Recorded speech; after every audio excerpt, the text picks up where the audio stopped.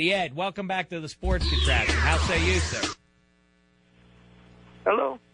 The Ed. Yeah. Hey, what's happening? It's Dave.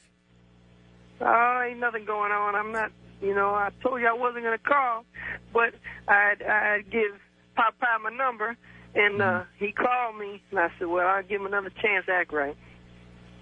Oh, all right. I'm, I didn't understand that, but okay. So anyway, the Ed. Here's the thing. It's been um, people have been calling into the show and saying this. And when you called in on Friday night, you did uh, some impressions for us. You did Cosell, which was great. You did Archie Bunker. And so in just a little bit here, in just a minute, we're going to play a brand new game where you're going to do your impressions and caller. If the caller can identify who you're doing, they'll win a prize. That's nice of us, right?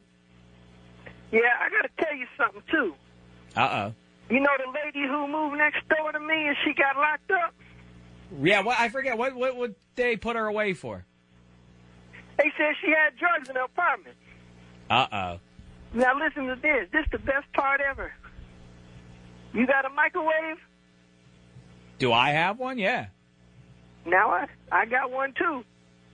Oh, really? So the place is vacated. You just walked through the police tape and took her microwave? No, they give it away. I got that, and I also I ain't never had one before. I got a computer. What do you mean they gave it away? Who gave it to you? Some maintenance man said, "Hey, this stuff, she gone." They gave everything. I didn't. She had like a couch and a bed and all this stuff. I didn't want that. I got that stuff, but I didn't have no microwave. Now my lunches only take a few minutes to make now. Well, but that isn't that uh, isn't that basically stealing to take uh, take that out of her house there? No, the maintenance man give it to us. Hmm. All right, I'm not sure if that's legal what you did there. Be careful with yourself, Ed. But remember, you're still trying to get that baby, aren't you? I don't think uh, Child Services is going to smile on you stealing stuff. Well, if I got, I didn't steal nothing. They give it to me, and Mhm. you got to have a computer in this day and age. They said, so now I got one. Do you know how to use the internet? No, I'm working on it. All right, good, good. I'd like that because you know I would like to get a picture of you, the Ed, so uh, we could put it on. A lot of people want to know what you look like, and uh, it was funny as a matter of fact. Foot, I'm about five foot seven or eight or Uh-huh. nine, and I weigh about about a hundred and eighty. I used to weigh hundred and forty pounds, but now I weigh about hundred and eighty-five. Right, right, right. Yeah. Yeah. Well, anyway, you've captured the imagination of many people who call into the show. People, in fact, it's funny. You did your impressions on Friday night of Cosell and Archie Bunker, and I forget who else. And then people called our show and started doing impressions of you, if you can believe that. Yeah, I heard them. Oh, you did hear him. Play Popeye. Yeah, Let's hear just a little bit more here. Let's hear hear one more time. Who? Popeye. Let's hear a little, little of uh, the Ed here. There are people doing the Ed. the whiner. Uh, D- Darren, you know, he he, he answers the sound like phone, nothing. and and that that's the intern Darren. That's a nice girl he is. See, that was an impression. I, I didn't think that was that good, but it's flattering that people want to do impressions of you, isn't it, the How come, how come I couldn't hear it? Oh, I'm sorry. I You guess don't that want was me a- to know what they did? No, well, they just said that you're a whiner because that you always put Yeah, down heard the that. Steelers when I you heard- call in. One boy say it. He he, tried to act like he was doing a cry or something. I said, "No, I ain't no crybaby. hmm Well, you do badmouth the Steelers a lot. I don't do nothing of the sort." All right. Well, listen. You know, the, we got to take a break, but then we'll come back and we'll let you. You're the master impressionist. We'll let you take over.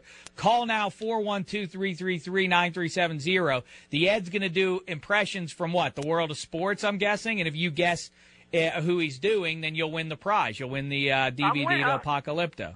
And I'm winning tonight. No, you're going to do the voice. You're not going to win anything. You're going to do it, and if they guess correctly, they'll win the prize. If they don't get it, I'm winning.